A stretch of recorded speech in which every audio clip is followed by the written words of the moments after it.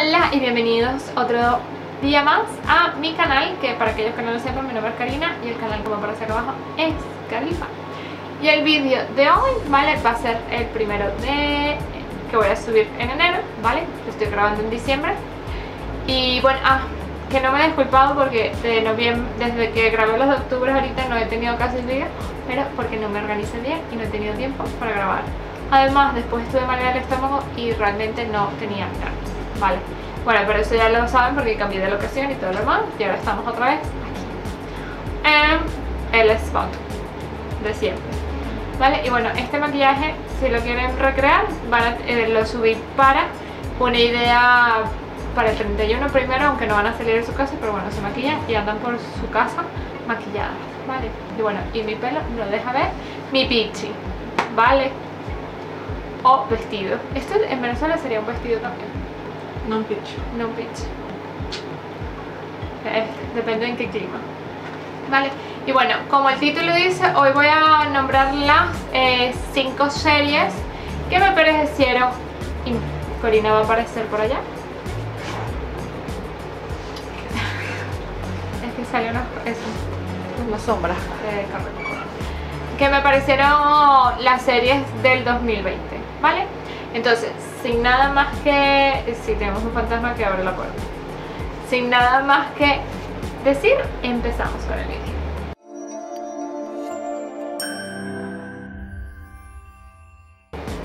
Vale, bueno, y tengo mi agenda aquí del 2021, de Alicia en el País de la Maravilla. Tuve decisiones importantes porque era por Edgar Allan que también me gusta, Jane Austen, que también me gusta, o literarias en general, que también, y esta, Alicia. Había otra, pero esa no me gustaba, por lo tanto no la recuerdo, porque así es mi cerebro. Y decidí irme por Alicia en el País de la Maravilla, es de Alma. Eh, es una editorial, Y tiene libros clásicos ilustrados. Y me encantan esos libros. Capaz, vaya comprándomelos poco a poco. ¿Vale? Y también tienen club de lectura, por si quieren ir leyendo dependiendo del mes. Pero bueno, empezamos con las... Eh, ¿Cómo se llama esto? la serie, ¿vale? Voy a ponerlo en, en mi top 5, que puede ser que no sea sub top 5, ¿vale? Entonces, de primero tenemos a The Mandalorian. Uh, su segunda temporada con el, lo mejor que ha pasado en este mundo es Grogu. Grogu. Grogu, ¿vale? O mejor conocido como Baby Yoda, porque estuvimos más de una temporada sin saber cuál era el nombre del pequeño o si era Yoda. Pero en esta temporada ya nos revelaron en qué parte de línea de tiempo de Star Wars se ubica, ¿vale? Este, y les acabo de hacer un spoiler que no es Baby Yoda. Pero bueno, el bebé sigue ahí, entonces tenemos que seguir viéndolo. ¿Vale? Nada, para mí es la historia de este tipo contada del oeste, porque de Mandalorian no deja de ser un pistolero que es arrechísimo, o sea, es, como la repanocha, como digo yo en Animal Crossing, este, porque él mata a todo el mundo, tiene 40, 40 eh, personas y él los mata a todos él solito, sin ayuda de nadie. Y de repente, ¿sabes? Es que, es que él es maravilloso. Entonces, tipo las películas de la bestia que estaba el, el sheriff o el vaquero, que el, ¿cómo se llama? El pistolero, que mataba a todo el mundo, que hacía y mataba a todo el mundo. Y no me gustan las películas de vaquero, pero de Mandalorian me gusta. Puede ser porque tenga una criaturita muy linda como Baby Yoda. Mm, puede ser, es un punto a su favor. Vale, eh, esta es de Disney Plus, o bueno, la puedes conseguir en Disney Plus, ves que yo la veo porque yo soy fan de Disney y de Star Wars, why not? Desde que es de eh, Lucasfilms, que ahora la compró Disney obviamente. Pero bueno, inclusive me he visto, me vi la tras de cámara, muy interesante, se los recomiendo ver. Vale, segundo, tenemos The Dark. No es de este año, igual que en The Mandalorian, pero sí creo, considero que este año, que fue su última temporada, tuvo más audiencia que los años anteriores. Inclusive yo la vi el primer año y pues me dije, esto es, me encanta. Eh, porque los alemanes tienen una ideología que, mira, me gusta, ¿vale? Desde que lo estudié con el- la famosa posmodernidad y sus eh, intelectuales, ¿vale? Que ahora no me acuerdo, pero Heidegger creo que era algo así. Este, este año tuvo muchísimo más audiencia que el año anterior. Creo que mi madre se la vio este año completa, las tres temporadas. Sí, no fue amigas. como yo que esperé año tras año para ver. Y Jessica, una amiga tuya. Ajá, y amigas mías también. Así que para mí este fue el año y también me parece una serie muy buena. Y eh, creo que a pesar de que en este tipo de, de ser- series, Karina habla bien, este, dejan el final muy abierto, lo cerraron. Es como mm, un círculo.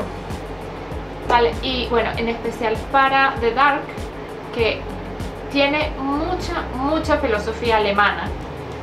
Si tú has leído los alemanes, sabes de dónde viene. Inclusive te menciona varias teorías de los alemanes eh, físicas, ¿vale?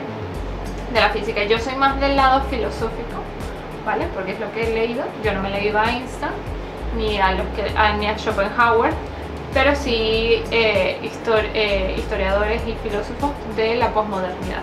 Que al fin y al cabo es en, principio lo que estamos en desde que Zaratustra o Nietzsche dijo Dios ha muerto. Eh, para los que aquellos que no sepan. Entonces, Dar, eh, te- yo recomiendo una vez que te vayas, que te vayas viendo eh, la primera y la segunda, puedes empezar a ver la- el árbol genealógico. Porque antes no tiene sentido. Vale, porque ya vas a ir preparado para algo que, sabes, es mejor no hacerle spoiler. Es algo bastante regresado, el árbol genealógico no es tan complicado como el de 13 a- eh, 100 años de soledad, porque no hay tantos aurelianos buen día, ¿vale? Pero bueno, es distinto.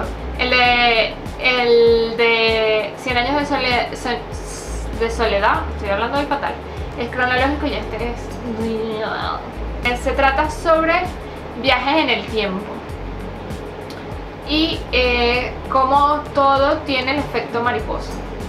¿Qué fue antes? ¿Qué, fue primero, la gallina o huevo? Es esa historia. Pero bastante bien explicada y ahí que te tiene ahí intriga, ¿vale? Eso. Después considero que está Queen Gambit. Eh, como dijo Corina, la gente está volviendo a jugar ajedrez gracias a la serie que también se llama La Reina Gambito en Gambito español. de reina. Gambito de Reina. Y es la historia de una chica, una joven, que lidia con la adicción mientras este, está jugando. Inclusive para mí, eh, una de sus adicciones eh, viene a raíz de, del ajedrez, ¿vale? Y van a ver, me encanta este, cómo el director puso los planos, la música, es este tipo de, mm, de serie o de película que con la música ya va contando cosas, ¿vale? No es que, bueno, le ponemos lluvia, no, él agarra una, estaba viendo una igual ahorita que es de ballet, Tiny Little Things, ¿vale? Eh, que eso, juegan con la música, que lo, que pasa es que con el ballet se presta porque el ballet necesita música para bailar juegan con la música para dar emoción, para este, generarte ansiedad, emocionarte en el momento que te tienen que emocionar, tristeza, etc. Vale, eh, llega a querer esa... eh, hoy estoy fatal hablando. Después me salen los haters diciendo que no sé hablar, probablemente. No sé hablar, pero bueno, ya lo sabemos. Bueno, y también juegan con los outfits en los patrones te van mostrando eh, lo del juego. Entonces es esa, esa producción que te muestra que hasta el más mínimo detalle está cuidado. Música, eh, imagen, corrección de color, ves- vestuario, etc. Ese nivel de, de, por decirlo así, una, una producción eh, que ya desde sus inicios pretende que sea genial prepotente, por así decirlo. Eh, ese es el tercero. La cuarta, ¿vale? Hice un top 5. y un extra. Emily in Paris. No es la mejor serie del planeta Tierra, ¿ok? Pero sí es una serie de estas fresca, no tiene mucha trama y cae en los estereotipos franceses y americanos en sí. Eh, de el día a día se parece mucho a, a la frescura que tiene, que puede tener un Friends, no tan profundo, pero sí es ese estilo de que se pasan muy rápido los episodios y que te vas divirtiendo con las tonterías que van haciendo. Y bueno, Emily Paris triunfó más que todo creo que por los outfits. Aunque considero que esta mujer, para irse de, de Estados Unidos a París, con el sueldo que debe tener esa mujer, en esa maleta ella metió más del armario que yo tengo hoy en día en mi casa. Es que, nunca repite un outfit, o casi nunca. Yo creo que es que no lo repite. No repite. ¿Cómo tú vas a ir a, trabajar a otra ciudad y tienes una maleta de mano, o bueno, una maleta que va en cabina, 23 kilos, con toda esa ropa? A mí, y zapatos, y, y, y, y bolso. Yo de casualidad metía dos bolsos, tres, cuatro zapatos y de ropa iba tratando de combinarla, ¿sabes? No sé. Las influencers ahí que me expliquen. Y bueno, eh, también me parece que come mucho afuera y esto se lo critico a todas las series estadounidenses porque inclusive mi serie favorita y desde pequeña lo siempre he visto es eh, Gilmore Girls y ellos siempre comían fuera y siempre tenían problemas de dinero y yo digo, ¿cómo pueden comer fuera de su casa si tienen problemas de dinero? Me pasa lo mismo que en Emily in Paris. No sé lo que gana, pero mm, sé que vive sola y deduje que bueno, el apartamento capaz se lo paga la empresa, pero me parece que gasta demasiado para el puesto que tiene. Quitando esas menudencias, pues es eso. Me gusta porque es una de las pocas series que eh, me aporta la frescura que a veces necesito de tantas intensidades como puede ser Dark, ¿vale? De Mandalorian no es tan intensa, pero bueno, ahí va. Es que yo veo muchas películas, series intensas o películas intensas sobre ciencia ficción y a veces necesito esa. Y también, eh, o sea, me parece mucho a series como The Bold Side y Younger, que si no las has visto y te, y te gusta esta serie de tipo de relajar con fresca, eh, recomiendo verlas. ¿Vale? Bueno, igual van, a- eh, van, va- van viendo las imágenes por aquí. Y por de quinto es una que, que se estrenó este mes, inclusive hace unos pocos días, que es The Bridgerton. Es una serie de época que también tiene incongruencias con las épocas como pueden ser los vestidos.